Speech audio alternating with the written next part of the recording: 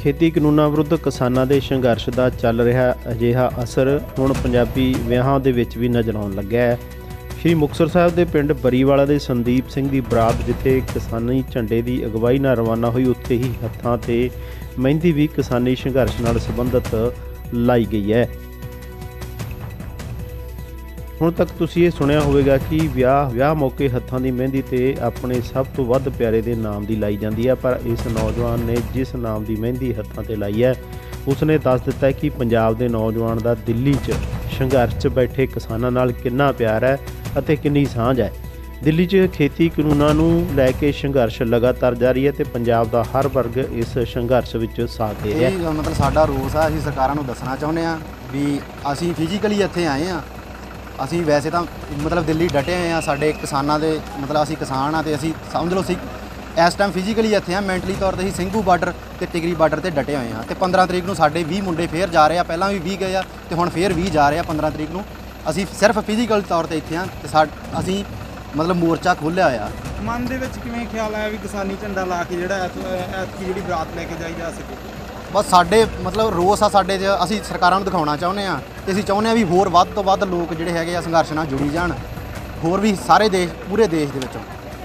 ਨੌਜਵਾਨ ਪੀੜ੍ਹੀ ਨੂੰ ਕੀ ਸੰਦੇਸ਼ ਦੇਣਾ ਚਾਹੁੰਦੇ ਹੋ ਤੁਸੀਂ? ਨੌਜਵਾਨ ਪੀੜ੍ਹੀ ਨੂੰ ਅ, ਮਤਲਬ ਜਿੰਨਾ ਆਪਾਂ ਪ੍ਰਚਾਰ ਕਰਾਂਗੇ ਓਨਾ ਹੀ ਮਤਲਬ ਇਹ ਚੀਜ਼ਾਂ ਆਪਣਾ ਸੰਘਰਸ਼ ਹੋਰ ਵੀ ਮਜ਼ਬੂਤ ਹੋਊਗਾ। ਮੈਂ ਚਾਹੁੰਦਾ ਕਿ ਹਰ ਨੌਜਵਾਨ ਮਤਲਬ ਜਿ- ਜਿੱਥੋਂ ਤੱਕ ਹੋ ਸਕਦਾ ਯੋਗਦਾਨ ਪਾਵੇ।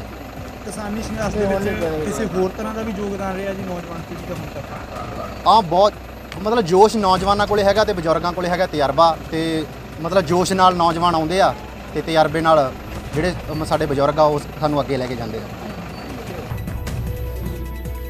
ਸ਼੍ਰੀ ਮੁਕਤਸਰ ਸਾਹਿਬ ਦੇ ਨਜ਼ਦੀਕੀ ਪਿੰਡ ਬਰੀਵਾਲਾ ਦੇ ਕਿਸਾਨ ਸੰਦੀਪ ਸਿੰਘ ਨੇ ਜਿੱਥੇ ਵਿਆਹ ਮੌਕੇ ਕਿਸਾਨੀ ਝੰਡੇ ਲਾ ਕੇ ਕਿਸਾਨੀ ਸੰਘਰਸ਼ ਦੀ ਹਮਾਇਤ ਕੀਤੀ, ਉੱਥੇ ਹੀ ਸੰਦੀਪ ਨੇ ਹੱਥਾਂ ਤੇ ਕਿਸਾਨੀ ਸੰਘਰਸ਼ ਦੀ ਹਮਾਇਤ 'ਚ ਮਹਿੰਦੀ ਲਾਈ ਅਤੇ ਹੱਥਾਂ ਤੇ ਲਿਖਿਆ ਕਿ ਕਿਸਾਨ ਏਕਤਾ ਜਿੰਦਾਬਾਦ। ਸੰਦੀਪ ਨੇ ਕਿਹਾ ਕਿ ਖੇਤੀ ਕਾਨੂੰਨਾਂ ਵਿਰੁੱਧ ਹਰ ਵਰਗ 'ਚ ਰੋਸ ਹੈ ਤੇ ਸਰਕਾਰ ਨੂੰ ਕਾਨੂੰਨ ਵਾਪਸ ਲੈਣੇ ਚਾਹੀਦੇ ਹੈ ਅਤੇ ਉਸਨੇ ਨੌਜਵਾਨਾਂ ਨੂੰ ਵੱਧ ਤੋਂ ਵੱਧ ਦਿੱਲੀ ਪਹੁੰਚਣ ਦੀ ਵੀ ਅਪੀਲ ਕੀਤੀ ਹੈ। ਕਿਸਾਨ ਏਕਤਾ! ਜਿੰਦਾਬਾਦ! ਕਿਸਾਨ ਏਕਤਾ! ਜਿੰਦਾਬਾਦ! ਕਿਸਾਨ ਏਕਤਾ! ਜਿੰਦਾਬਾਦ! ਕੁਲਦੀਪ ਸਿੰਘ ਜੀ। ਅ, ਅੱਜ ਜਿਹੜੀ ਬਰਾਤ ਲਿਜਾਈ ਰਾ- ਜਾ ਰਹੀ ਹੈ ਜੀ ਤੁਹਾਡੇ ਵੱਲੋਂ ਕਿਸਾਨੀ ਝੰਡਾ ਲਾ ਕੇ ਲਿਜਾਈ ਜਾ ਰਹੀ ਹੈ। ਕੀ ਕਹਿਣਾ ਜੀ ਇਹਦੇ ਬਾਰੇ? ਇਹ ਆਪਣੇ ਸਾਰੇ ਜਿਹੜੇ ਇੰਡੀਆ ਪ- ਭਾਰਤ ਦੇ ਵਿੱਚ ਕਿਸਾਨਾਂ ਦਾ ਰੋਸ ਕੀਤਾ ਜਾ ਰਿਹਾ ਮੋਦੀ ਸਰਕਾਰ ਨੇ ਜੋ ਕਾਲੇ ਕਾਨੂੰਨ ਪੇਸ਼ ਕੀਤੇ ਆ ਉਸ ਦੇ ਵਿਰੋਧ ਵਿੱਚ ਅਸੀਂ ਇਹ ਬਰਾਤ ਲੈ ਕੇ ਚੱਲੇ ਆ ਝੰਡਾ ਲਾ ਕੇ। ਕਿਸਾਨੀ ਸੰਘਰਸ਼ ਜਿਹੜਾ ਬੜਾ ਤੇਜ਼ ਚੱਲ ਰਿਹਾ ਤੇ ਨੌਜਵਾਨ ਪੀੜ੍ਹੀ ਵੀ ਉੱਥੇ ਪਹੁੰਚੀ ਹੋਈ ਹੈ ਹਜੇ ਤੱਕ ਮੀਟਿੰਗਾਂ ਕਿੰਨੀਆਂ ਹੋ ਗਈਆਂ ਕੋਈ ਸਿੱਟਾ ਨਹੀਂ ਨਿਕਲਿਆ। ਕੀ ਕਹਿਣਾ ਇਹਦੇ ਬਾਰੇ ਤੁਹਾਡਾ? ਜੇ ਮੀਟਿੰਗਾਂ ਕਿੰਨੀਆਂ ਮਰਜ਼ੀ ਹੋ ਜਾਣ ਜੀ ਅਸੀਂ ਕਾਲੇ ਕਾਨੂੰਨ ਵਾਪਸ ਕਰਕੇ ਰੱਦ ਕਰਕੇ ਫੇਰ ਹੀ ਵਾਪਸ ਆਉਣਾ ਜੀ। ਉਹਨਾਂ ਚਿਕਰ ਸਾਡਾ ਕਿਸਾਨੀ ਦਾ ਪੂਰਾ ਬੁਲੰਦੀ ਦੇ ਨਾਲ ਅਸੀਂ ਉੱਥੇ ਜੋਸ਼ ਜੋਸ਼ ਨਾਲ ਤੇ ਦਿੱਲੀ ਦੇ ਵਿੱਚ ਝੰਡੇ ਗੱਡੇ ਹੋਏ ਆ ਸਾਡੇ ਜੀ। ਨੌਜਵਾਨ ਪੀੜ੍ਹੀ ਲਈ ਕੀ ਸੰਦੇਸ਼ ਹੈ ਜੀ? ਨੌਜਵਾਨ ਪੀੜ੍ਹੀ ਲਈ ਵੱਧ ਤੋਂ ਵੱਧ ਉੱਥੇ ਸੰਘਰਸ਼ ਦੇ ਵਿੱਚ ਅੰਦੋਲਨ ਦੇ ਵਿੱਚ ਸ਼ਾਮਲ ਹੋਣ ਤੇ ਸਾਰਿਆਂ ਦਾ ਜਿਹੜੇ ਕਿਸਾਨੀ ਮੋਰਚੇ ਦਾ ਹਿੱਸਾ ਬਣ ਜੀ